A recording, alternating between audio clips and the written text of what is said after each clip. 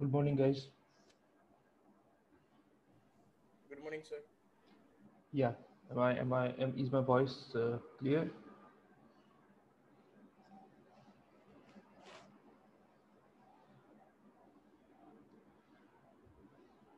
How many of you are there? Okay, we have, we have to wait for some time. There are only 88 people.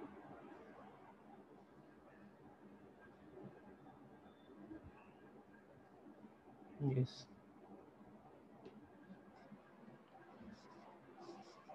Can you hear me now, Chinmay? Hello, hello. Is it clear? Okay.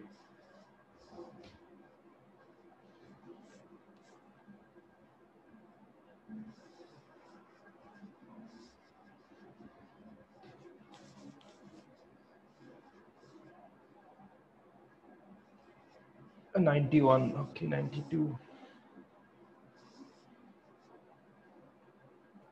Vijay, also, can I ask you something? Yeah, tell me. Yeah, go ahead.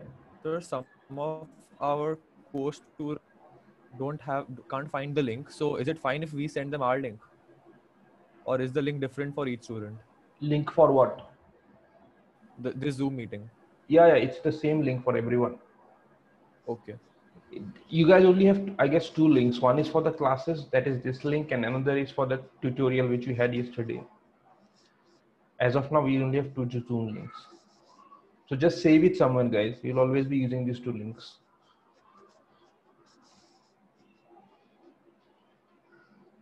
Okay, thank you. Yeah.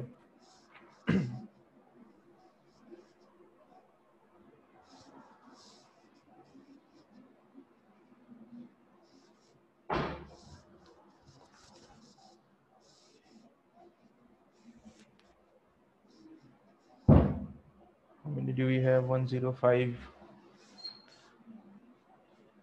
How many of you are there? One for 120, right?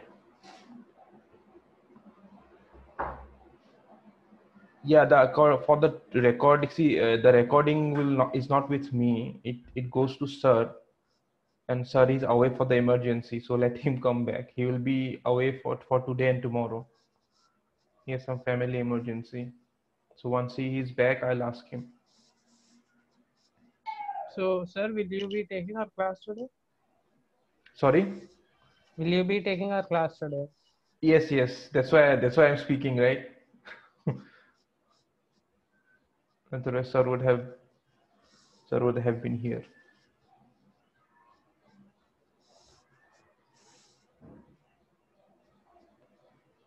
No class has not started yet. I'm waiting for I mean, guys, you guys are joining from home. You should be on time. It's not like you're you have to come from hostel where you don't get food on time.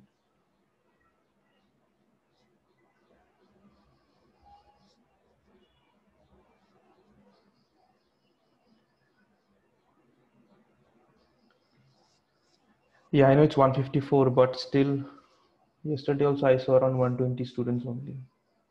Anyway, I'll wait for uh, five, two, two, three more minutes and we'll start. Sir, Yeah. So my IntelliSense, I think it's not working, sir. Like I'm seeing all the text only in white color. Is that normal or?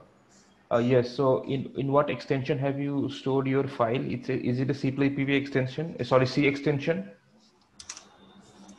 Yes, sir. Dot C. Dot C, right? Okay. I think uh, uh, it should have worked by in by default. So there is a uh, on the on the left on the left panel of uh, code VS Code, you will see some extensions. I think you have to install the IntelliSense extension. If you just uh, go to the left, right, just hover your mouse to the left, then you will see the pane come. That, that that is a pane will come up in which there will be extensions tab. So if you press that extension tab, you will see IntelliSense. You, you, have, you have to check that IntelliSense is installed or not. If it is not Yeah. installed, you have to install it. Yes, sir. I installed it, sir. I remember installing. Okay. Okay, so Mm, maybe I didn't save it as dot C. I'll check again, sir. Yes, yes, do that, do that because it, you have to provide the extension, not then only it will work. The file extension. No, today we will not be doing code. Okay, sir. I will. I'll just. Uh, I'll just talk maybe most of the time. And I'll try to read the questions that you guys asked on the chat yesterday. I kind of missed most of it because I was uh, writing code and doing stuff on the terminal. So I'll try to read the three chats also. So people can ask questions on the chat and I'll try to uh, reply. No, for yesterday, you guys are done. I mean, once you have pushed your uh, once you have pushed your changes to the uh, remote Git repo, that's it. Hello. Yes, tell me. Sir, I'm planning on moving my uh, Git setup to Linux. Uh, will I be facing any problems if I operate it from both Linux and Windows? No, no, not at all. I mean, Linux would be easier for you to operate from from from from where to operate. It will be easier. Okay, thank you, sir. Yeah.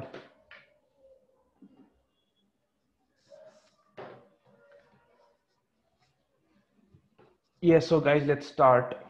So I think I can start. The 114, yeah, that's fine.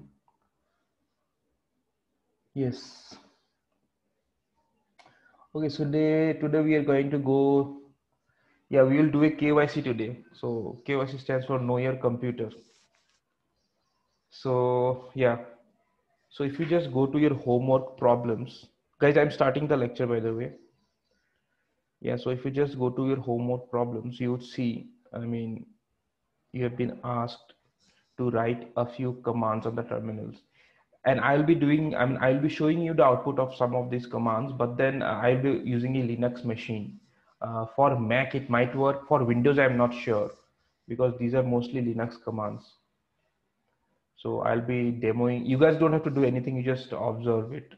Uh, for Windows, uh, for Windows, try to find a hack somehow. I don't know if these commands are, are at all supported on Windows, or, rather in PowerShell also. I think PowerShell also does not support these commands. But let's, as of now, you just observe. You don't have to do today anything.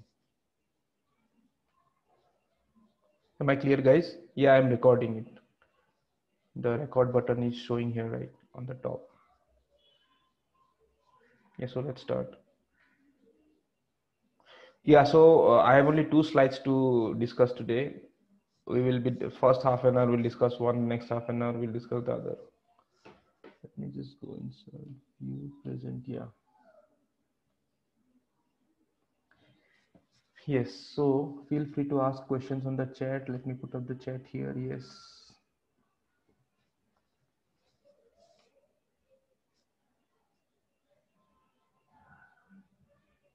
Okay. Okay, so uh, I think Sir has covered this, uh, I mean, some portion of this already, but I'll be just repeating. So on the top left, you see your you see your computer. This is what your computer looks like, and the motherboard. This is the most important thing, right? This is where this is what your computer is actually. So it has two main components. Just just just follow the arrows there. There's a there are two red arrows coming down. So this is the CPU part of of your motherboard, which is the which is where the action happens. This is the more this is the thing basically. This is your computer, and this is the logical diagram. I'll explain what it is, and this is the RAM here.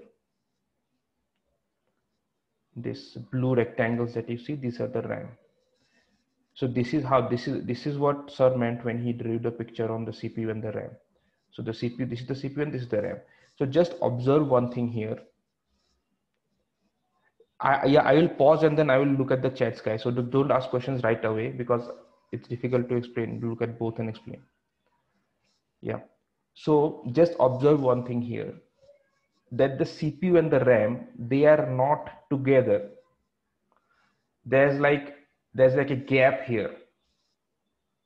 What is this gap? This gap is, this, this means that the RAM sits outside the CPU so the CPU has to use the motherboard wires, which are here, bus or wires for, for simplicity, to access the data from the RAM. And the RAM again sends data over the uh, over the interface of the wires, which is here in between. So CPU and the RAM, they are they are, uh, are sitting on different chips on the motherboard. So just this is a fact. Just keep this fact in mind always. They're never together on the same chip. They're located on different chip. The RAM is a different chip and CPU is a different chip. Okay. So how does the CPU operate? So the CPU operation is pretty simple. I have drawn the most basic CPU that you can draw. The CPU has some memory of its own, which I'm calling the CPU memory. This memory here in green, this memory is inside the CPU. This is the memory which is on chip. It is inside here, inside this, uh, inside this square here. The what is this color? Yeah, the brown square here. Now there is an ALU. ALU is the one, ALU is a unit inside the CPU, which is responsible for doing your computations. Again, CPU can be divided into, uh, divided into smaller pieces. And, and the most, one of the most important piece is the ALU. There is the arithmetic and logical unit, which does all your, all the computations for you. There is a bus. What does the bus do? The bus takes data from outside that is takes data from ram and and then feeds it to the cpu memory. What is the program counter here? I'll come to that. What is the program counter but as of now the bus feeds data to the cpu memory the alu takes data from the cpu memory and does the computations. So what is the ram? Yeah so that memory this green memory is in the cpu inside the cpu it's it, it, it's the cpu memory and it's the fastest memory that your cpu can access. Memory has many hierarchies. What do i mean by hierarchy? For example uh, uh, for example you are at your home right and you want to you want you want a can of milk if you have the can of milk this is the fastest way to access the can of milk right if the can of milk is at your in a room inside your home so that's like the cpu memory but let's say that you don't have milk at your home, then you have to go to the nearby store. So that's called the RAM, which is not inside, which is not part of your home, it is outside your home. So that's the RAM. And let's say the milk is not even inside your local store, then you have to go to a, it's bizarre, but you have to go to a different district and get the RAM, sorry, get, the milk. So this is like your hard disk where you have to go far to get the data. Yes. So this is what, yeah, the CPU memory is registers actually. I don't, I didn't want to use the word registers because it, it, it, it confuses people, but I'm just, it, it, it's registers and it's the fastest memory. So your program always accesses data from here and data is brought from outside and placed in the CPU memory for the ALU to access. Yes. So what is the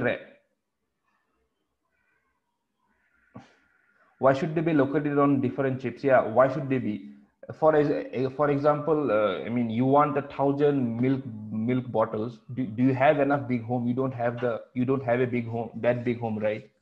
So that's the issue. If i put all the memory inside the cpu the cpu would be the size uh, of a brick.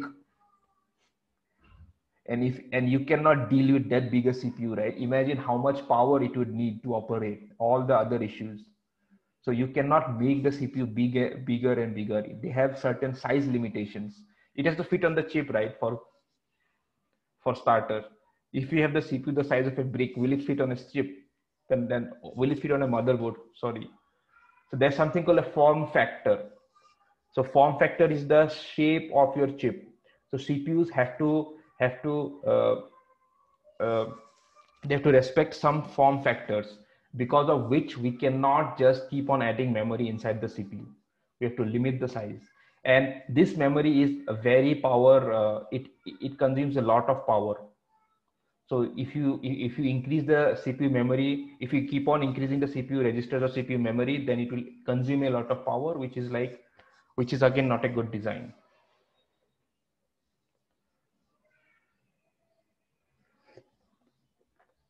So if the RAM is in the CPU, can't change the amount of RAM in your computer. No, yeah, that's what I was saying, right? So RAM is not inside the CPU. RAM is outside. RAM is this blue. These are these blue rectangles here, and CPU is this brown square here. So RAM and CPU they are they are separate from each other. Yeah, you can always add. You can always add RAMs here and increase the RAM but then there are also some limitations because you would not get you would not get uh, too many blue rectangles here. There will be limited set of rectangles where you can uh, slots sorry these are these are called slots where you can put new ram. There's a limitation to everything guys. Yeah so coming to the ram. So what is the ram? Ram is just for as of now for your understanding just take it as a collection of uh, a collection of memory units and each unit is a byte. It's an 8 bit value so it's a continuous collection of 8 bit values one after another. Yeah see this is not an accurate diagram of the cpu so what happens in the yeah i'll come to what happens in the alu so now how how do both of yeah so your entire system operates your this is the this is the crux of your operation actually. The cpu takes data from the ram through the program counter so what is the program counter the program counter is an you could say is a is that guy who goes to the memory location and fetches data for you. He is like your courier guy who goes to the memory and asks the memory, let give me the give me the value that you are storing at this particular address. It takes the it takes the value from there, puts it on the bus, and the bus provides it to the memory, and the memory gives it to the ALU. So program counter is that guy who just runs through the memory fetching new fetching new uh, fetching new items from the memory. So here the highlighted one is the blue. That is one one element. It is fetching one element a blue element. That is the blue byte. You can say it as a byte. And then it puts this byte on the bus and the bus puts this byte on the cpu memory and the alu consumes it yeah it's like he's like your younger sibling whom you can just pat on the back and ask him to get you stuff Yes. Uh, so the PC holds on the input instruction until the bus takes it. Yes, you could say that.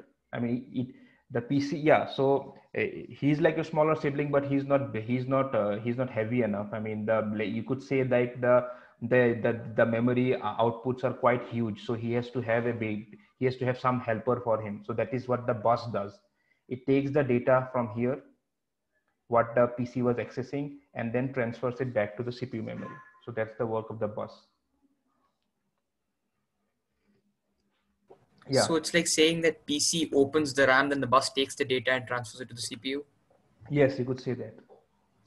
PC initiates a memory read or memory memory read basically, and the bus collects the output of the memory read and gives it to the CPU through the through its memory through the registers. Yes, the CPU works BW. The what is BW? Between the RAM and the bus. Yeah Good. Okay, let's go ahead. So now what the ALU does, the the ALU computation is simple again. So whatever data it has been receiving from the CPU memory, it operates on the data and then creates an output and then writes it back. How does it write? How, how does the ALU write it back? Yeah, the ALU is two options. So whatever data it has created as an output, it can either store it on the CPU memory, but then the CPU memory is a really small memory, right? So it will it will fill up pretty fast. So it has to repeatedly keep on spilling this memory to the RAM as well. It cannot keep all the output on the CPU always. So again, it uses the bus. I have not drawn that path here, but just just just get it that the CPU, whatever output the ALU is creating, it just flushes it to the memory as well. But it uses a different counter, not the program counter. I mean, there are different counters for doing different stuff here. So program counter is one of the counters to, to read input from the RAM. So there will be one more counter to put output to the RAM. Uh, I have a doubt. Yes. Uh, so now, uh, suppose I'm running a very heavy program. Then, what do you mean by uh, heavy here? Uh, um, let's say probably for lack of a better example, a game, a very heavy game. Yes. So now if I'm running it, most of the game data, like so when I asked Sir the previous time, he told most of it stored on the RAM. Yes. So every time the CPU is got to do a, a, process for to run the game, it takes it into the CPU memory and then performs it, right? Exactly. So it takes it bit by bit, very little by little, because the CPU memory isn't that big. Yes, yes, not bit, so, byte. Okay, by byte, yeah, it takes it as bytes. But um, does that mean it that process keeps occurring throughout the game? Yes, exactly. So for every small operation, it keeps taking it into the CPU memory. yes. memory. All the answers are yes. Oh, okay. It's really, I mean, it's really, uh, it's really bizarre actually. If you see, if you feel it from outside, how is it doing so much things and we are not even seeing the lag? Yeah, exactly. I'll, I'll come to that now. Why is it so fast? Why is it so Yeah. so fast? Because So just imagine that these two things are on separate worlds, right? The CPU is in a separate world, the RAM is in a separate world Hmm. because it's off chip. Now, for every little instruction that is on you in your game, it has to go out, get it back, compute, and send it back. Yeah, So but, but no, does that mean do. does that mean if I increase the CPU memory by even a bit, the performance will go up like really high? No, this the performance does the see the, the CPU performance does not affect because the CPU is different from the RAM, right? What you are saying is increase the RAM. So how Okay, would you benefit from increasing the RAM? I'll tell you. Okay. yeah. Maybe we are digressing, but anyways, I'll just put it short. So Yeah. just just remember that example where you went to the local nearby store, right? Hmm. So if your store is very big, Hmm. it can it can put a lot of stuff right for you to find. You don't have to go out of the out of your district. So that's what a bigger ram means. It can hold bigger it can hold more things for you so that you don't have to go outside the ram to the hard disk. That's what a bigger ram means. So But it's it closer access. it is closer access yeah. But it will not speed up the operations that is happening. All that it will do is it will hold more things. That's it. Okay. Yes. So just just imagine yeah as he was pointing it out so just imagine if you're doing this and then how many things the cpu has to do i mean i mean the the, But- the, but- but then the, the operations that it has to do. Yeah. But then by that logic itself, if I increase my CPU memory, it'll become even faster because the CPU memory can be accessed very quickly, right? Like you said, the fastest un- access. unfortunately you can't do that man. Oh, memory, only intel amd they have the right to do this. Okay. We But isn't the cannot. CPU memory only responsible for just giving it to the ALU? So it won't make any sort of difference whether or not you increase the memory it holds. Ultimately, but- you'll just be giving but it then off it- as soon as you receive it. it's it's My closer is- right it's closer It'll be able to take in more data at Yes. the same time. Yes. That's what I meant. that's what he's saying you don't have to go go outside your home take, Give right. repeat Whatever it takes, as soon as it gets it in, it'll probably give it to the ALU because by that time the ALU will have finished yes and it'll be open for the next instruction. Yeah, so it'll be able to take more data and give it at the same time. So it'll Correct. technically result in a faster process. That's what I think. yes that you you're right see for for the for the uh, for, for the bus to go outside and get the data it takes let's say uh, one hour but for the alu to receive data from the cpu it just take one second Hmm. so it will be doing more so in one hour it will be doing more things right rather than going out and getting Yeah. data. Thank you, sir. yeah. So yeah. So that's the operation of the uh, yeah. So that's the Uh, basic sir, I had of uh, one doubt. yes. Yes go Yeah, so I had the doubt. So right now, uh, data is being retrieved from the RAM, then it goes to the bus, yes. then it goes to the CPU memory, and then Yes. it goes to the ALU. yes. Now, CPU memory is supposed to be more efficient and faster than RAM, right? yes So, uh, but why why are we doing this multi-step process? Wouldn't it be faster to just get it from RAM because one step is less than? Even if CPU memory is fast, but still, so- if there's one less step, it should be faster. exactly yeah so so let's yeah so take this example that uh, you have one part let let's say this is your this is your uh, memory area right this is this blue this is the blue Yes, the blue brick that you see sorry let's say this is your favorite brick in your code you always want this brick again and again and again right? So now if if you don't have memory inside you inside the cpu let's say in your in your entire code you are accessing this brick 100 times right? So if there was no memory inside for for you to keep this brick at least for those 100 100 times that you'll be using it how many how, how- uh, for for you to access it 100 times how many second how many how much time would it need 100 It would seconds be right slow. It would be slower than CPU memory. Yes.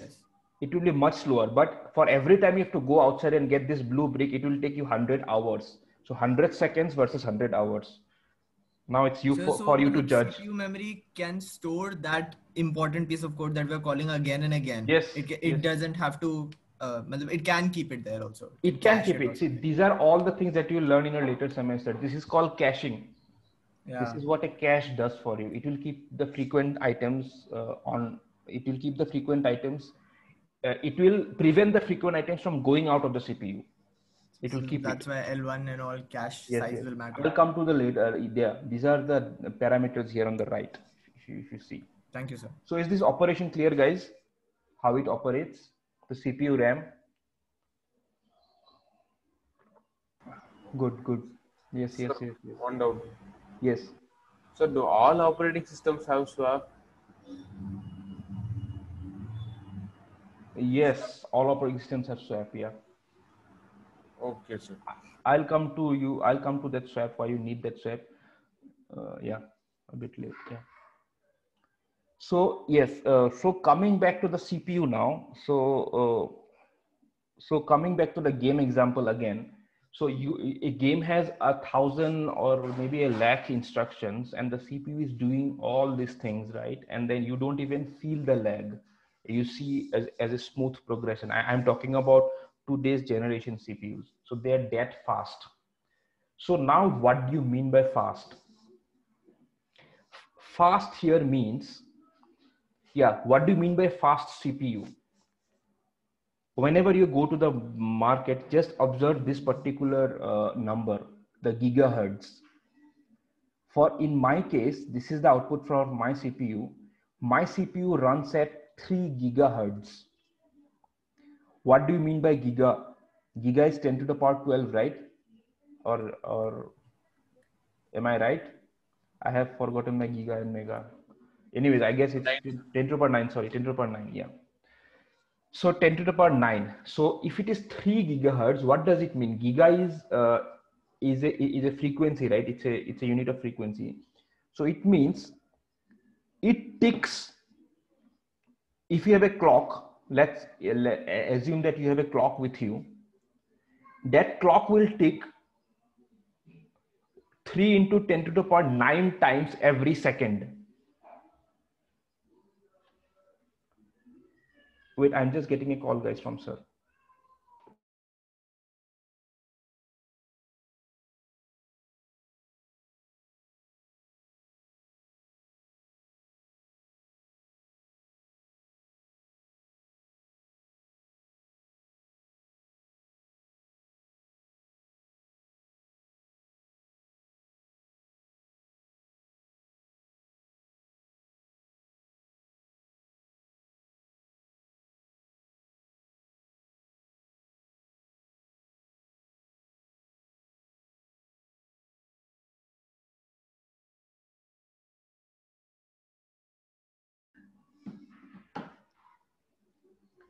yeah so coming back to that so uh, so uh, so what does this gigahertz means? I mean you are all uh, aware of this thing right? Gigahertz that is the frequency of your cpu so what does it mean?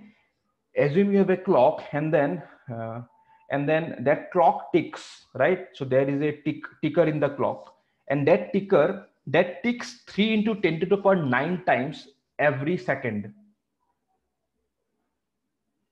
for now in your case how many how many times does it tick? In a normal clock it ticks just one tick in one second right?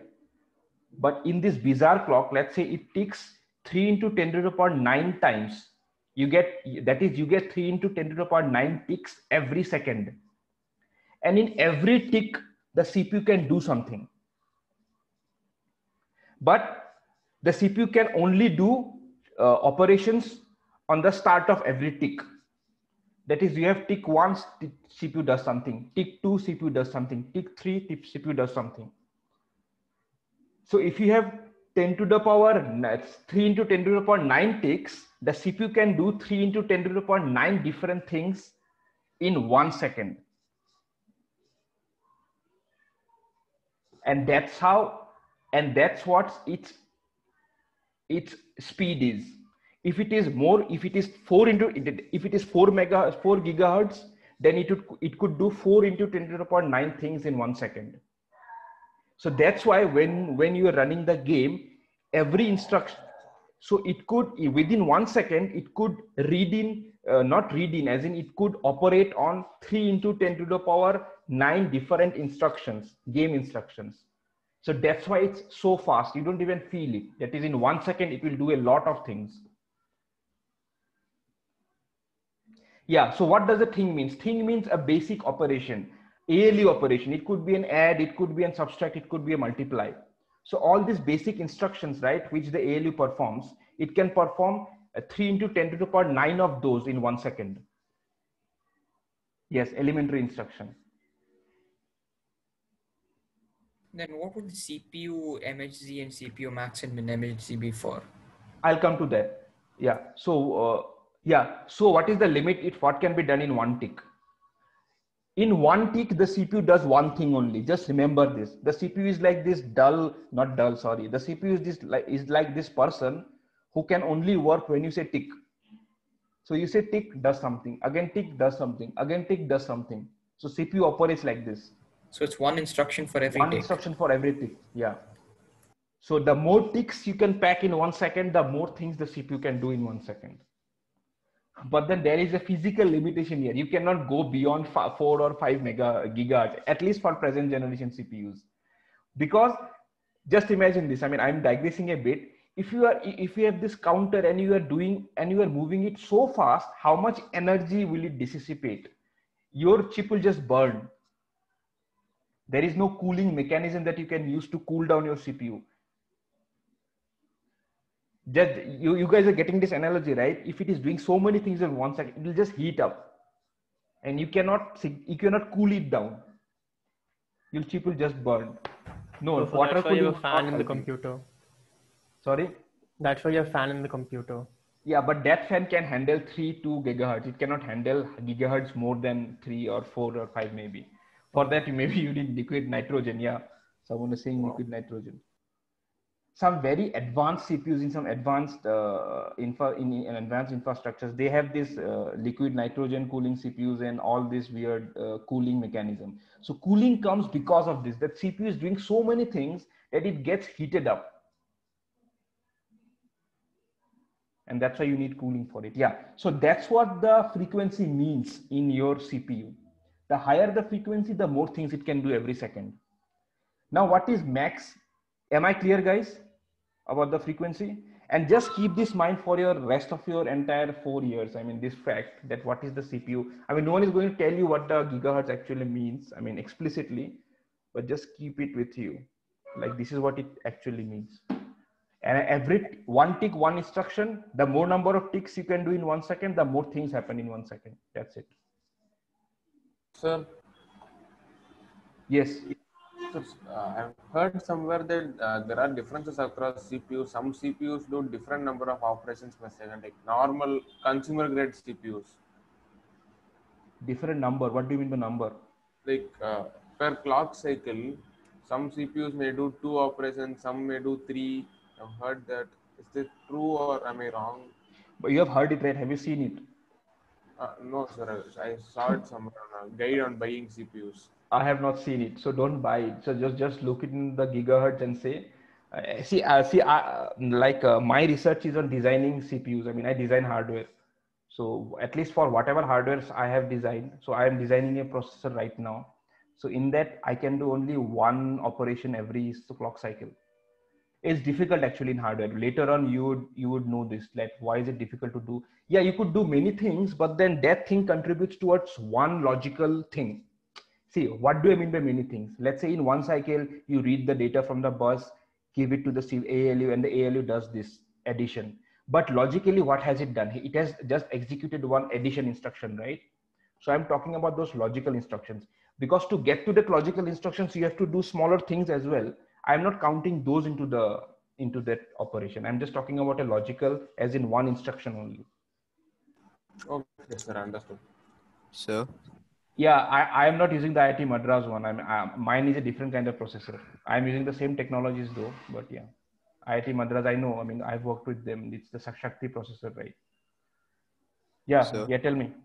uh, could you explain again what makes ran- RAM random access? Like, why is the memory? Why is it uniform access? Like, what, what makes it that? What's so special about it that it makes it like that? Uh, The RAM. Yeah. Yeah. So uh, why is it okay let me just scroll once and see if they have any other questions guys are you are you clear on the before going to the ram are you clear on the clock frequency this is the clock frequency here on this pane if you see Sir, I have a doubt about that CPU. yes Um, tell me Am I? Yeah. So, sir, you said that there is a physical limitation of three to four gigahertz, after which it will require too much energy to do that. But Correct. wouldn't it be just better to have two CPU chips run in parallel and divide the workload between them? obviously that's what multi-cores do right you came to multi-cores then Okay, sir. what else do you mean by multi-core that's putting two cpus so that they can do more stuff on the same frequency Uh, sir, one more question. yeah i'll come to the ram question after this yeah tell me You didn't explain CPU MHZs. Like you said, the CPU clock speed was three three gigahertz, right? yes So then, why is it why is it giving the data regarding megahertz or max and min? If you know that's anyways less, what what significance does that have? see max and min uh, see i don't know much about min but what is max so there is a tool so there is a tool uh, in which you could th- there's something called overclocking if you have heard this term overclocking so overclocking is yeah so overclocking is a way of increasing the frequency of your cpu why would you increase the frequency for the same reason i just explained back uh, some time back so overclocking means you are increasing the CPU, but you cannot increase it to any amount, right? So that's the maximum you can go even with overclocking. So that's what the max means. I think so. So you're saying that the MHZ details that are given are the maximum you can increase or decrease your CPU to. Yes, yes. So it can go to 3.5, I guess here. So you can add 3.5 megahertz to that. Not 3. Point, you can go to 3.5, not add 3.5. Oh, okay, fine. That's overclocking. But overclock, I have never done overclocking. Uh, and I, I, I, suggest not to because uh, it might burn out your CPUs. It happens. Okay. Yes. So uh, yeah. So coming back to the RAM question. So someone was asking why is it random access? Why is it random access? See, the operation of the RAM is itself random access. Each of these bricks here you see on the RAM, each of these bricks they have got a different address. So what the program counter does is it just goes to the RAM and says, "Hey RAM, give me the address in, uh, give me the, um, uh, give me whatever you have stored at address number 100." So the so the RAM would respond to it by giving the brick at address 100. So that means the PC can ask the RAM any any address, brick from any address, and the RAM has to give it back. So that's why it's random access. What if let's say what is opposite of random? It's serial, right? So let's say the RAM would have been serial access. It cannot do a random access. In that case, what the program counter has to do is if it, if it has to read 100, it has to read all 0 to 99 and only then it can come to 100. So that's the opposite of random access called serial access. To reach to any brick, you have to read all the bricks before that and only that only then you can get that brick. But for random access, you can directly ask the RAM, give me the brick at that location and it will give you. That's random access. Um, but if you want to look for an address, don't you have to like go through all the addresses until you like reach that certain address? Like, So is that's that what I searching? that's what I told you, right? So that that's a memory controller setting. But what's the alternative? How how do you find the address without going through all the addresses? Like, is I exact- yeah. So then I will be going into hardware. So there is there are some. Um, do you do you know about the hash table? Uh, can you explain it a little bit? Maybe I know. See, there are there are data structures, right? I mean, uh, yeah, this is digressing. I mean, what happens in a hash table is, uh, if you want to look up something, you can directly go to that and get the data. You don't have to look up look everything that is before or after that. So there's a data structure in computer science which you will you guys will later on uh, discover that if you want to access data, you can go to that and get the data. You don't have to access anything before or after. So so there is a something like that sitting in sitting on the RAM, which is the we- which which you could say the memory controller or something like that, which will directly give you an access to that location, and and it will, and you will get the data back. So it's Alright. similar to a hash table. Yes. So yes. Uh, okay. So that's the frequency, CPU frequency. Okay. again, if when someone was asking uh, about uh, increasing the number of cores, you see here, right? How many number of cores do I have? I have four cores here. The number of CPUs are four. That means in a very simplistic way, you could say there are four ALUs to do more operations. So that's four here.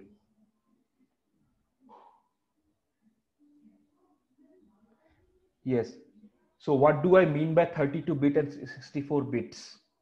You guys want to know about this, right? 32 bit or 64 bit CPUs. Yes. So yeah, I, yeah, these are common uh, common things. That's why I have just put these values, but then you will have all other values. I, I'll show you the output of the command also. So what do you mean by 32 bit or 64 bit CPU? So, so 32 bit 32 bit is what? It has 32 bits. 64 is it has 64 bits. So this is the uh, this is the uh, uh, this is the standard operating width you could say of the ALU. That is the ALU can operate on 32 bits at once. If it is a 32 bit, if it is operating in 32 bit. Again, if it is operating in 64 bits, that means it can it can add two 64 bit values, let's say in one cycle or in one tick. So that's that's what the 32 and 64 bit means. It means the power of your ALU. The, the number of bits that the, that, the, that, the, that the ALU can operate on in one tick. The bigger the number of bits, that is, if it, if it would have been a 128 bit, I have not seen 128 bit CPUs though. That means it can operate on 128 bits in every tick, which, which, which, which means it's faster. It can do more things in one, side, one tick. Sir, um, so 64 bits means uh, it can operate on uh, uh, data from 8 uh, 8 bytes like yes uh, 8, 8 into 64 yeah. It can it can work on 8 bytes in one go. Uh, and just one more doubt. When i was trying to understand what 64 bit is i mean 32 and 64 bit is um, there was something like the 32 bit computers can only access maximum of around 4 gb ram and more is useless. So why does that limitation come sir? Yes i'll i'll, I'll tell you that. See if you have two bits how many let's say if you have two different two bits how many things you can represent with two bits? Answer me fast guys. Four correct. If you have 32 bits how many things you can address with 32 bits? 2 power 32 that's 4 gb i think it's 4 or 8 gb something like that so that's why when you have 32 bit CPU, you cannot address a lot of memory because even the addresses that you generate, right? Even the addresses would be 32 bits. So with a 32 bit address, by address, I mean with different, with 32 different bits, you could only access this many addresses. So that's why it's 4 GB. For 64 bits, it will be 2 power 64 addresses, which will be bigger. Am I clear? Yes, sir. Yes. Someone was asking what's happening. Rajeshri Ray, what's happening? The class is happening. Yeah, anyway. Uh, so one. Yes. So 32 bit and 64 bits. So that does that mean the computer can only operate the CPU can only operate on 32 or 64 bit values, or correct? It can go the entire range. No, no, only 32 and 64. Okay. It cannot do. Yeah, dude, guys, it's already 11:14. Yeah, I have to. I have to rush. Yeah.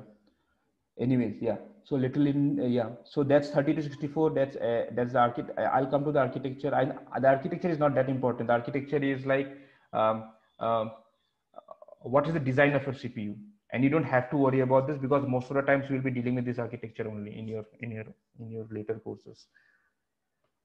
Okay, so coming back to the yeah. So now this motherboard has a peripherals here. Yes, someone was asking about two slides. Yeah. So these peripherals are the are the ways in which you communicate with the external world see this yeah, these yellow dots here. So these are the peripherals. So there is a peripheral for your monitor. There is a peripheral for your uh, maybe uh, other stuff. There is a peripheral for your inter ethernet cable. So this peripheral allows this board to get to to gather data from the external world. And what would they do? Once they have gathered data? They would simply pass the data to the CPU and the CPU would do the processing. So in your homework, there was a command. I'll just show you the command now to find out uh, the peripherals that are connected to your uh, computer. What was that uh, command, guys? Why am I not able to open it? Sorry.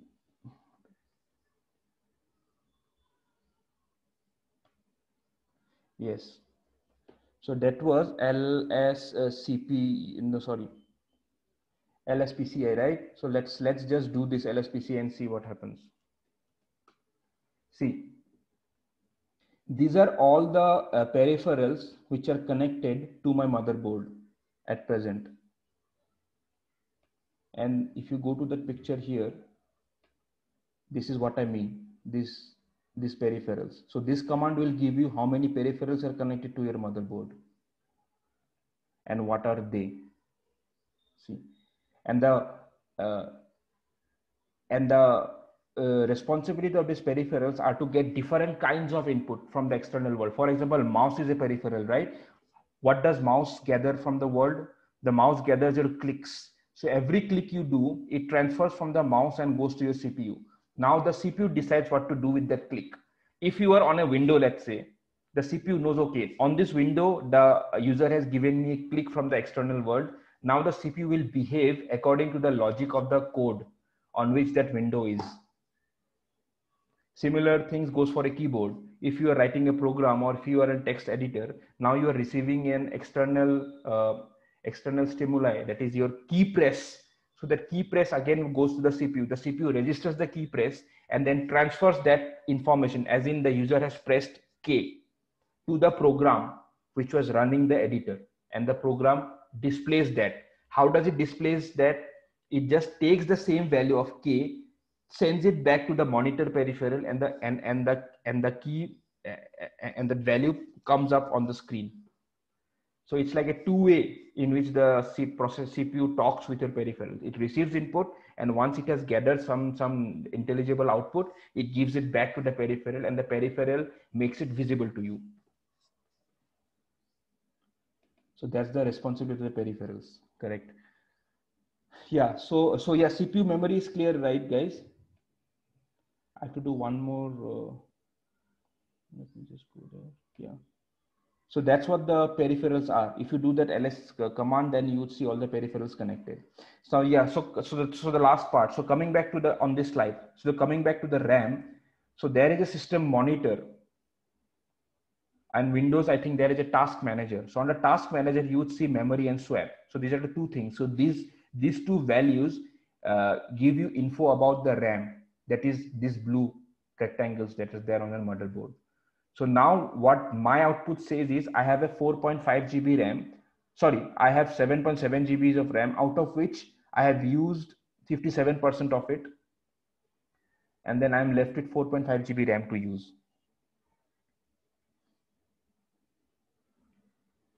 And then, uh, and then I have a swap space. How much swap do I have? I have a swap of 7.8 GB. Now this swap space, it's not sitting on the RAM. This swap space is sitting outside the RAM on the hard disk. Guys, are you clear on the swap area? I mean, should I discuss it or let it go?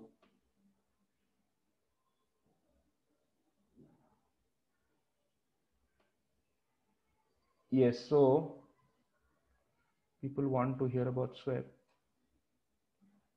These commands are not working on Mac. These are command is working on a Linux machine that I have here. So these are the Linux uh, um, Linux output. Yeah, I'll just show you. Uh, wait, wait. Before I go to the swap, quickly I will show you the output of the. I don't want to switch between this presentation mode and back. If I'll show you the output of the LS CPU. So this is what I get. Out of this, I have only I have only taken parts that are important for you, but there are other info as well which you which you don't need it's it, you'll get a lot of other info as well and this is running on a linux machine yes let's go back to the presentation Good. Yes. So what is swap now? Coming to swap. I'll be doing it. I'll be speaking a bit fast, guys. Yeah. What's the difference between CPU memory and cache? CPU memory is the cache. Question answered. Yeah. So what is the swap? Swap. See, when your program is operating, uh, uh, how does it operate? It takes up some. It takes up some bricks from here. It takes up some area from the RAM. It loads its data and then asks the CPU to read to read data from this area and then start uh, processing the program. That's how a program operates, right? It takes itself, it puts it on the RAM, and then tells the CPU, now, now I am ready to execute. You start reading my instructions. And the CPU goes to the RAM where that program is located, and then it starts reading the instructions and, and starts executing them, which means it's executing the program. But there are I'll come to the cache wait after this. But there are scenarios in which the program might want the entire RAM. For example, your game might want 8 GB of 8 GB, right? Which which which is presently not there in the RAM because the RAM is let's say 4 GB. So what to do in this case? What what it does is it takes some part of the hard disk and assumes that this is part of the RAM. Let's say it takes up, let's say 20% of the hard disk and says, okay, now I will treat this part of the hard disk as a RAM as well. Even though that's slow, but it will take that part. So that is what, yeah, swap is like an extra RAM. So that is what the swap area is. But now the program has to be intelligent enough. That is the CPU has to be intelligent enough not to, uh, not to put out the most frequent instructions in the program onto the swap. What, what will it put in the swap are those things in the program which is, does not require very frequent. Let's say it, it, it reads a particular memory location only once in the entire lifetime of the program for example, whenever you log in, right, on a game, you have a window which says start the game. You only do it once, right, in the start of the game. So that particular logic can sit in the swap, which is just required once. But all the other things, for example, your game engine, your physics engine, which deals with the game, those things have to be there on the RAM. It cannot be on the swap because those things are visited very frequently the things which are visited very less frequently, they are put on the swap space. So that once in a while, if you need them, then it, then it will come back to the RAM, you do the stuff with it, and then you send it back.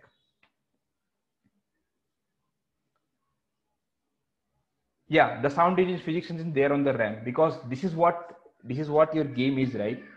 But the other things, your login screen, your other things, your account, maybe those things are not your password of the game. Those things can be stored on the swap because they're just required once in the start of the game, not during the game. I'll go to, uh, yeah, let's not go to defragmentation right now. I have to explain a lot of other things before that. Is that clear guys, swap, swap area? Then we're done with this slide. Good, any more questions on this slide? Yeah, yeah. What about cache? So what about cache? The CPU memory is the cache. First, second thing, within a cache, again within a cache, it's not flat. I mean, within a cache also there is a hierarchy. That is within the CPU memory, some within the CPU memory, some memories will be faster, some memories will be slower. This is what this cache has been. L3 is slower, L2 is faster, L1 is the fastest. So we, just like we have a hierarchy of RAM, hard disk, CPU memory, right? Within the CPU also there is a there is a hierarchy. So this hierarchy is what is called L3, L2, L1. Now just observe one thing here that L3 is faster. Sorry, L3 is slower, but it is it, it is bigger. Why is it bigger? Because it's cheap.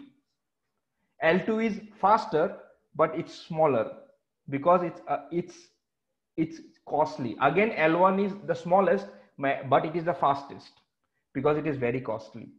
So this is what these three levels, I mean, some CPUs could have more levels of cache, but every level of cache, as you go down, uh, the size increases, but the uh, speed decreases. This is exactly like HDD and yeah, solid state, yeah. No, no, no. This cache is only for one. This ALU has the privilege of this cache. For other ALUs, there will be separate cache for that ALU, for separate memory for that ALU. This is just for the single ALU. Then why would they split it between D and I? What's that for? Why, why would he come? Can Split it. Split the L1 cache between D and I. What's that for? You really want to go into this right now? Anyways, let's do this. If you have time, so then okay. I think can- we should, it's better if we stick to the topic than going on tangent. yeah, uh, just, just to answer this because you've asked this, and I cannot stop myself from explaining. So, anyways, so D stands for data, I for instruction. That's it. So within a cache, there are two sections: one for your program data, another for your program instruction. So the ALU reads instructions from the L1I, that is the instruction cache, and operates on the data cache, that is L1D. Is that clear? Yes, sir. Cool. Cool. We are done with this slide finally. The entire class was on this. Anyways, I'll overshoot, I know, by 15 20 minutes. Yes, so that, that this brings to our second slide. So if you if you guys are completely clear on the first slide, the second slide should not be a big deal. I will not explain you the entire process here, but let me just put up the chat. You guys can see the chat window also, right? That is the issue in, or you can't see the chat window.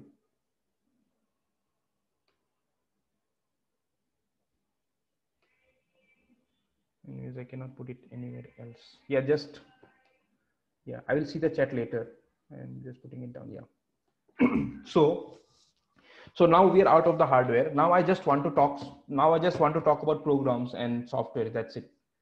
We, we are done with the CPU and the RAM part, right? So if you st- just look at the left, so this diagram is from left to right. Just look at the left and then you go to the right. Cool. So on the left, what you see is what would a what would a typical uh, typical program that you write looks will look like. If your program will always always look like look something like this. So what does it contain? It contains it contains two different things. This small uh, these small rectangles that you see, right? These are this is what is called the these are called the variables or the program memory these are small units of memory, you could say. And what is this blue section? This section is the the actual program code or the program instructions. This is this is where you would access this smaller uh, smaller memory blocks and try to do something with it. For example, for example, this could be uh, two variables, and the and the code could be adding the two variables. So your all the programs, whatever you write, will always look something like this. You will have some memory areas which might be variables, which might be something else, and then you will have some code to act on those uh, to act on those memory chunks or memory areas. This is a this is like a typical representation of a program. Yesterday, what we wrote was a single printf, so that program did not have any uh, memory or that because that did not need any memory that just had one single instruction which was printf but going ahead you will be using program memory you will be using variables and you will be operating on program memory to do intelligent stuff. Yeah. So that's what a program looks like. So what happens now? So this is your cpu here. Now whenever you switch on the cpu what happens? So let's say yeah this is your ram here on the right the ram that i just drew on the first slide right now you have just powered on your cpu now you are not doing anything. Now you are not you have not started compiling your program. Just remember this. This program that is there it's there on the hard disk here. This program you have not done anything. When you power on the cpu what happens? So first thing first thing what happens is your program will boot up. How will it boot up? There will be a very small very elementary uh, loader called a boot manager what that boot manager would do is it would it would it knows it knows in in what hard disk space is your operating system located. So what the boot manager will do is it will simply start reading start reading from that particular area on your hard disk. And it will populate that it will take up that area and then it will just put it on the ram That's what the boot manager does. It knows in your hard disk where your operating system code is located. It will take up that code and it will put it on the RAM. Once your operating system is on the RAM, that means your operating system has booted. That is, it is up and running. Yes.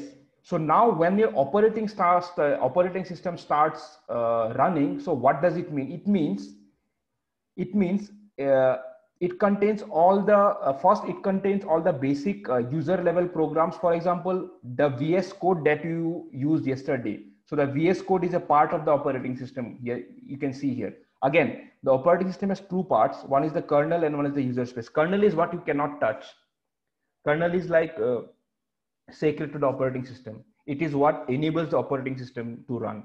So you cannot touch that area but then the other areas are where you load your uh, so so yeah so coming back so your operating system has got a huge ram space right to load in. So within that ram space some part of it will be the kernel space which you cannot touch. The rest of the space will be the user space wherein all your user level programs would be located. So these user level programs are the programs which you call from the terminal and which you have access to for v for example here vs code gcc loader linker all are in the user space. So you could call these programs located in the user space of the operating system from your terminal. And you can start uh, playing with them.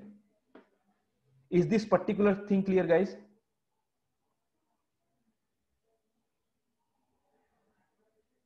Yes.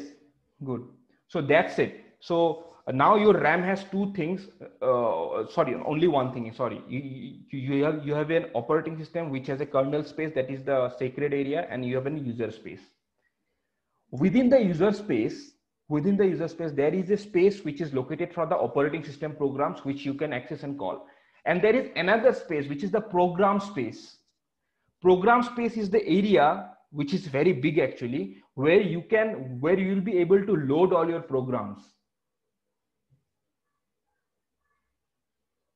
right? Now how, how does this loading happen? It's quite simple uh, not not sorry not quite simple. I mean it involves some steps here. So now what how how does it operate? See you have your program here and then you you do the compilation. You see the c compiler here right? Again the c compiler is one of the programs located in this space the pink the pink uh, area if you see.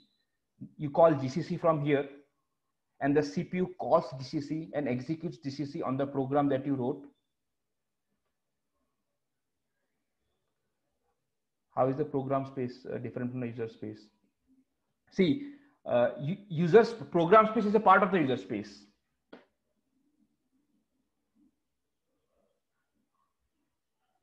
Yeah. I'll come to the bios and boot manager later yeah. So program space is a part of the user space in which uh, in which your uh, your compiler your compiler your loader and linker. Yeah i'll come to that now. How, how, how the program is loaded onto the memory so yeah, so as a first part, what you do is you always take your compiler, which is located in the user space, that is GCC, you call it from a terminal, and then you compile it, right? Compile it here. Now it goes through, once the program is compiled, it goes through something called an assembler. So what is an assembler? The assembler is simply whatever high level code that you have written, it further breaks it down to smaller to smaller pieces of code which the CPU can understand. It's like assembly code. Because the CPU cannot understand the printf as it is. You have to break the printf into smaller instructions for the CPU to understand. So this is what the assembler does. Again, assembler is a program sitting on the sitting on one of these pink pink bricks here.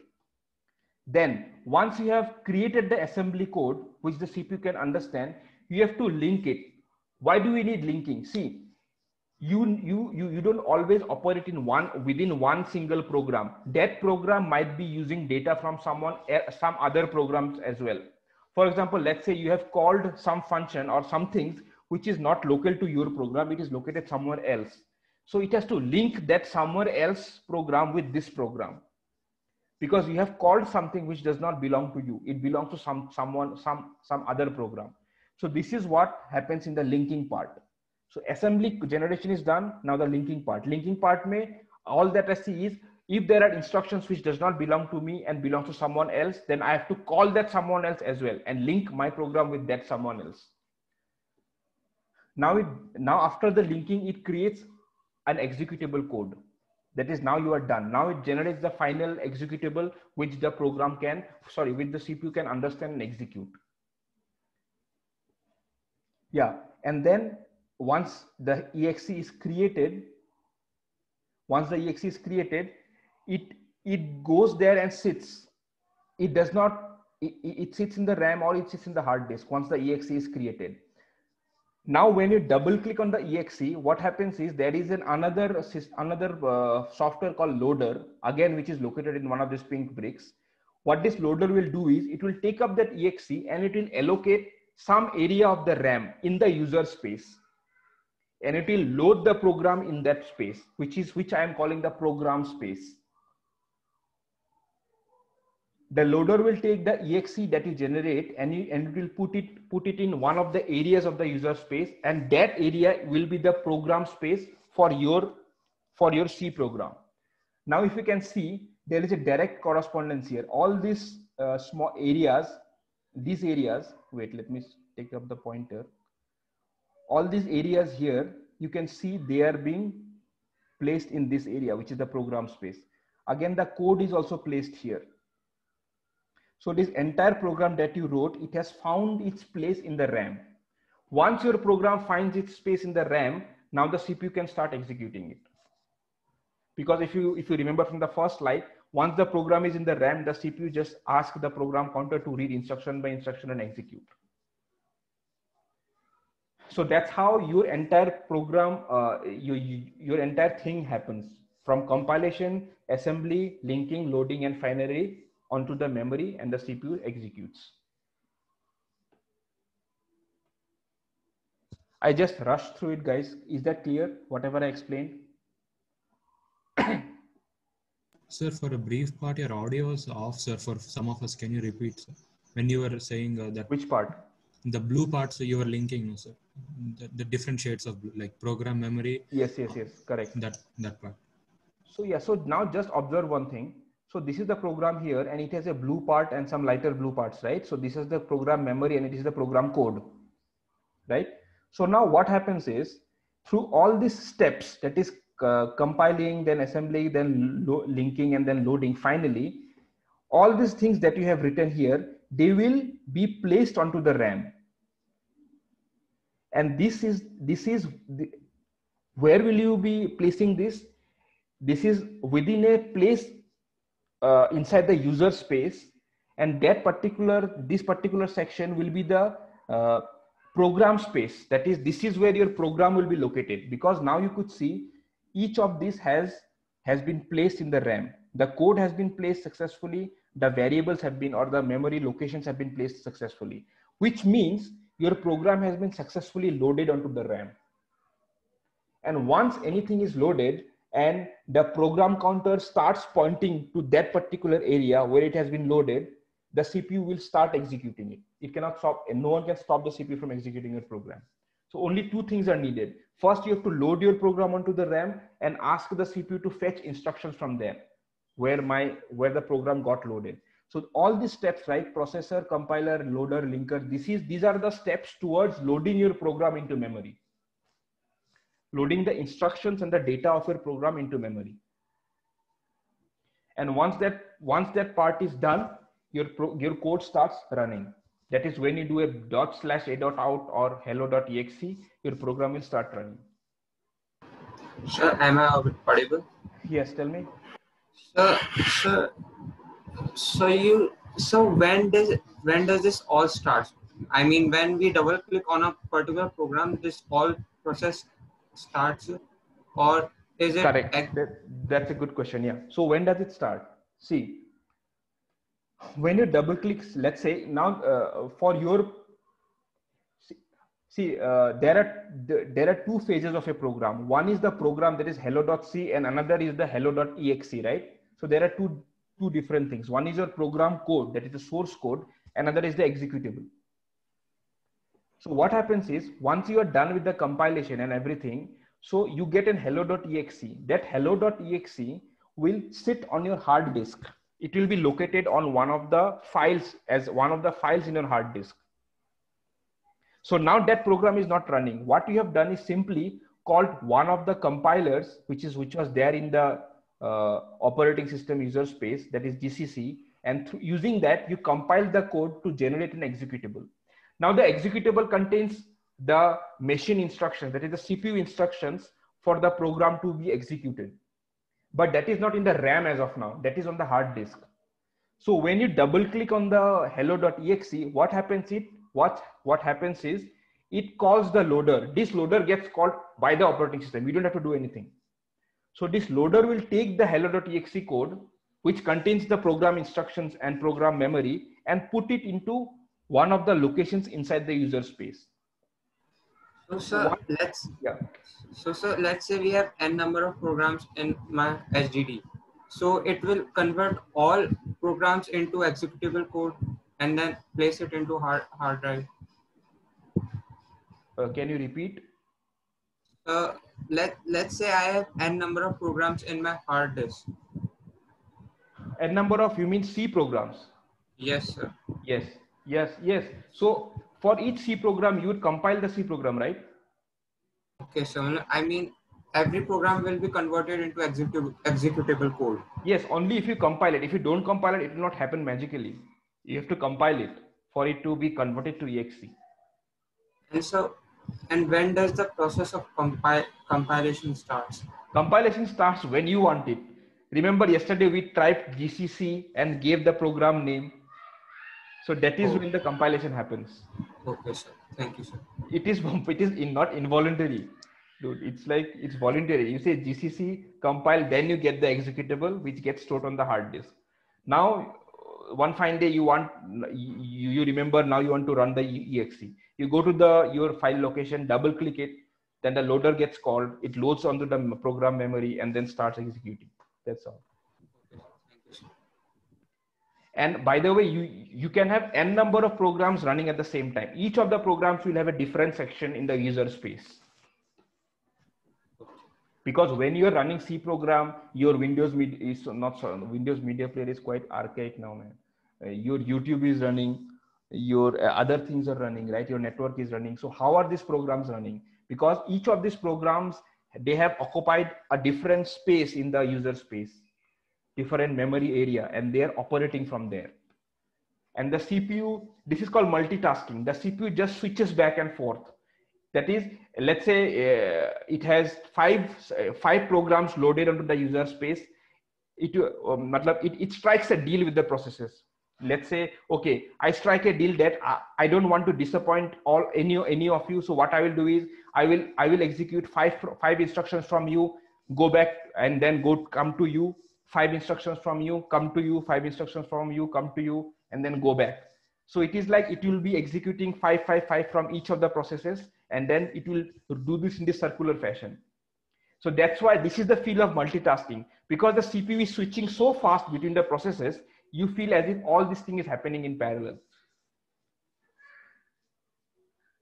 Thank you. So guys we are done with today's lecture. Any questions now? I mean i have 15 more minutes i guess. So i'll stretch it to 12 Sir, uh, like one doubt, sir. yeah. Uh, like if we boot Ubuntu, why is Windows taking up some RAM? Sir? it does not. Windows will be there in the swap space. Yeah for some cases for some cases there are some systems where uh, where you can have both these systems at the same time because you could switch back switch back and forth between the systems Yes, sir. these are server stations basically where because some users might be using ubuntu some users might be using windows so both of these systems have to be there on the ram at the same time Ye- Yes, sir. Understood. yeah now you, you guys can chat uh, ask chat questions I, I can respond Uh, I have a doubt. What is the difference between boot manager and BIOS? Uh, by BIOS, yeah. So basic input output system. So what does it do? So BIOS is a way of uh, with interacting with the basic hardware that you have on your on uh, basic hardware you have on connected to your motherboard. Remember when you open BIOS, you see your keyboard, you see your hard disk, you see your other things, right? Yes, so yes, yes. BIOS is a way. It's a basic input-output system. What it does not have any operating system flavor to it. It's a basic way of interacting with with the peripherals connected to your machine. Now, remember, if you remember in BIOS, we could change a boot option, right? You could say either boot from the CD or boot from the pen drive or boot from the hard disk. Do you remember Yes, this? Yeah. Yeah. So what does it mean? It means that uh, uh, through BIOS, I'm able to access all these uh, peripherals. That is the USB, that is the hard disk, and the CD. And I have set a boot option. Now what happens is, I have used BIOS primarily for this. Now what happens once you have set the boot option and once you have uh, uh, restarted your C, uh, computer, the boot manager will load the uh, operating system from their particular device. That is either a pen, pen drive, a CD, or a hard disk. So BIOS is used for that. It is used for controlling the input output, basic input output. So when we uh, like uh, start the la- computer, what's the first thing which comes? Boot manager or BIOS? BIOS is a way of you. BIOS does the boot manager comes up. BIOS is a way for you to change some of the hardware settings. BIOS does not come up automatically. You have to press some keys, then it will come up. Sir said uh, BIOS uh, loads the OS kernel. Yeah, what sir meant was this boot manager and BIOS. He was talking both of them together. He was taking to- matlab, he he combined both of them actually. So there is a grub. There is something called a loader, grub loader, boot manager. So these are the things which are responsible for loading your operating system. And then, and then yeah, you could also see BIOS and them together. But then BIOS has a specific part to do. So boot So- manager so- loads the system. Loads like uh, the OS kernel. Yes, I mean you could look both of them in a combined way, but ba- yeah, you could yeah in some way you could see both of them combined. Yeah, but primarily BIOS helps you to interact with your uh, uh, input-output systems, input-output devices. So it's like an interface or something. Yeah, it's an interface. It's an interface to your hardware. Okay. So, so can we say that the BIOS starts up the system, and then after that, the boot manager, or the, there are two boot managers present for each for each OS you have, and then it takes it in from there. Yes, you could say that. Yeah, you could say that. Boost, uh, BIOS is more primitive than boot manager. You could say that. Yeah. So BIOS happens in the start, then the boot manager takes its place. Yes, correct.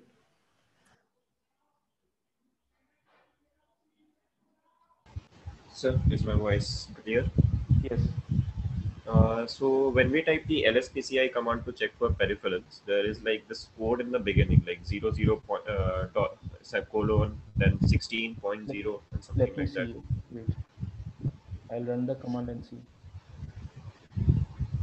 Yes. So like there is uh, zero zero colon zero zero dot. Oh, these are the these are the IDs. Uh, these are the IDs on your peripherals. Uh, see in this picture you can see those uh, small small uh, circles, right? So each of these circles are numbered one, two, three, four. So these numbers that you see are the IDs for each of these. Thank you. Sir. Yeah. Uh, excuse me, sir. Yes.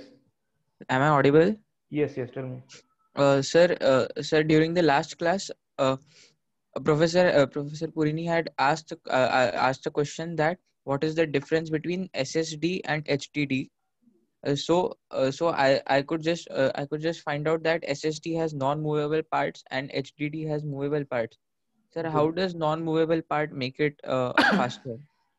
Yeah, you found out the most important thing. That's the most important thing. What do you mean by movable part? Movable part? Uh, It moves, I- right? It moves. yeah. Yes, sir. Yes. So now moving is mechanical, right? You have to move. Yes, Let's say you have to move your arm. What do you mean by non-movable? Non-movable is there is no movable thing inside. It's like it's like uh, what do I say?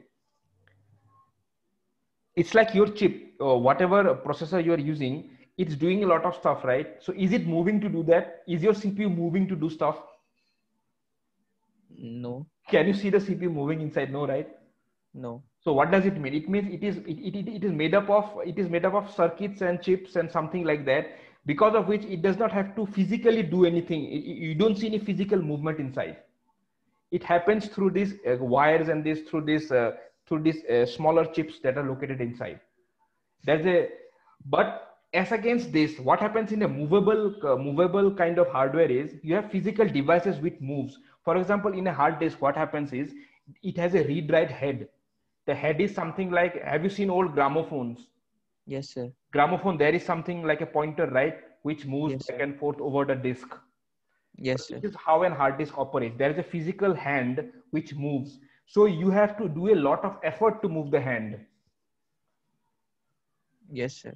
hand ko hilana it's not so easy. I mean you have to you have to you have to give a lot of power for the hand to move. So that's why physically physical moving hard disks are slower because it has movable parts and to move these movable parts it reaches it requires a lot of energy or time. Yes. but when you have a non-moving part all that you have to say is you have to give it some electricity and then you get the response directly. There is nothing moving inside. It's it, it's fast in that way. Moving is when you have to do when you have to give energy and that thing moves from one place to another and then gives you data Uh, sir, so if uh, sir, if suppose uh, uh, suppose we have to uh, we have to make some uh, partitions in the memory, Yes. sir, how how does that work for uh, SSD?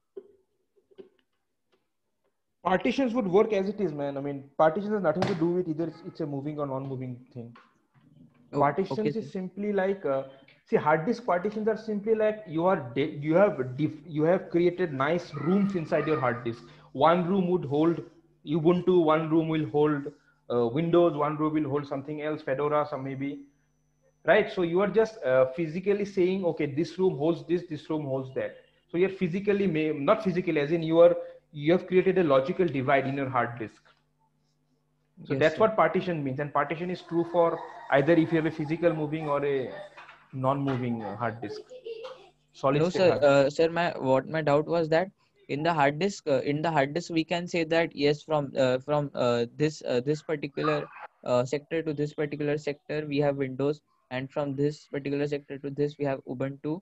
Sir, means so how how does that work in SSD? I see. I have not worked with SSD, but I think there will be similar analogy with SSDs also. Now, I mean, maybe sectors uh, instead of sector, there they will be calling it something else okay but the, there would be an analogy obviously because you have to address the hard disk right in in, in some terminologies. So yes, the one that you call sector in your physical in your HDD, you might be calling something else in your SSD but wo concept to hoga sector wala the, the concept would be there. Yes sir. Thank you. Thank you. So guys are we done? See, today what I told you just was, uh, yeah, to summarize today's lecture. So I told you what the CPU operation was. I told you what happens when you when you compile and run your program. So in the following lectures, you will be now doing programming and just keep these things in mind that whenever you are compiling, you're running your program, all these things are happening under the hood and you don't even know it. It just happens in just like just like in a click but all this all these things are happening to your program so that it runs on the cpu and i think we have invested a lot of time on this particular uh, aspect which the other programming courses don't do. I mean they directly jump into programming without even knowing what on what you are trying to program. So this knowledge is very very important. Okay then yeah So like uh, usually when a system starts up, first the BIOS does a hardware check, and if something is wrong, it gives a beep. So shouldn't BIOS come first and then only boot manager? Yeah, I, we agreed on that. BIOS comes first and then boot manager. We had a discussion already. So yeah, so BIOS checks your hardware and sees if everything is okay. Let's say your hard disk fails, then BIOS will report bad sector, something like that. Yeah, the BIOS comes first and then the boot manager.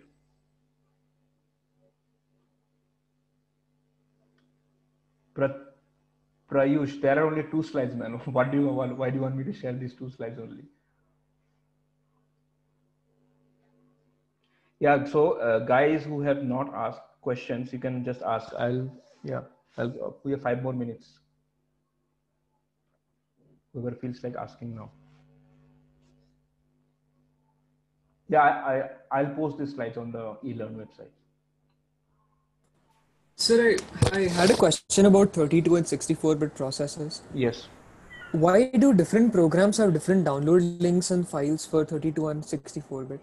Yes. And why do 34, sorry, 32 doesn't work on 64 and like vice versa? I'll tell you. So remember your CPU can operate in 32 or 64 bit modes, Yeah. right?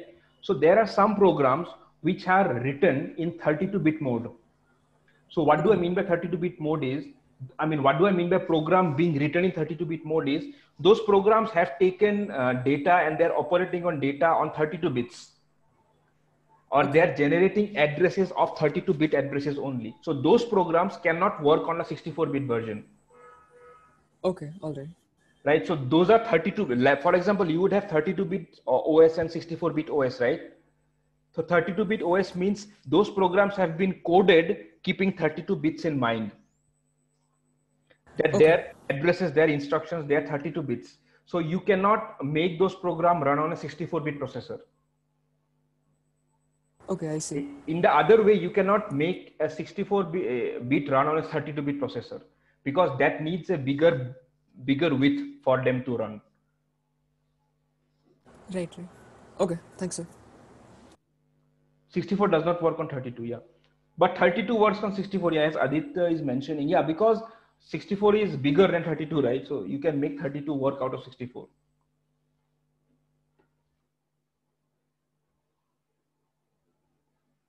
Thanks, sir. Why does someone wants to know about tar? How did the tar come in between? Sushil, yeah.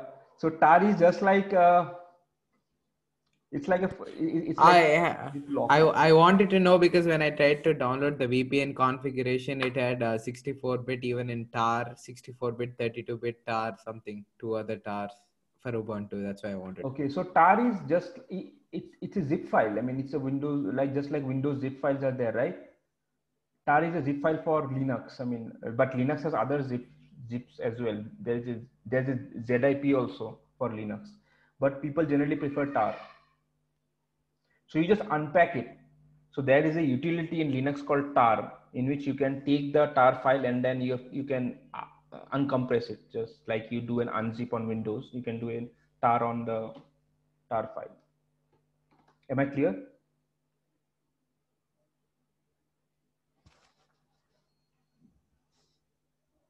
Yeah, good. Shall we end it, guys? Okay, I can see two yeses. Yes, yes. Just reply yes. Okay, then I'll, I'm, I'm ending it. Thank you, guys. So I guess from next uh, class, sir we'll be taking uh, like we'll be going into programming from the next class and just keep this entire perspective in your mind which will really help you see things in a bigger picture yeah okay bye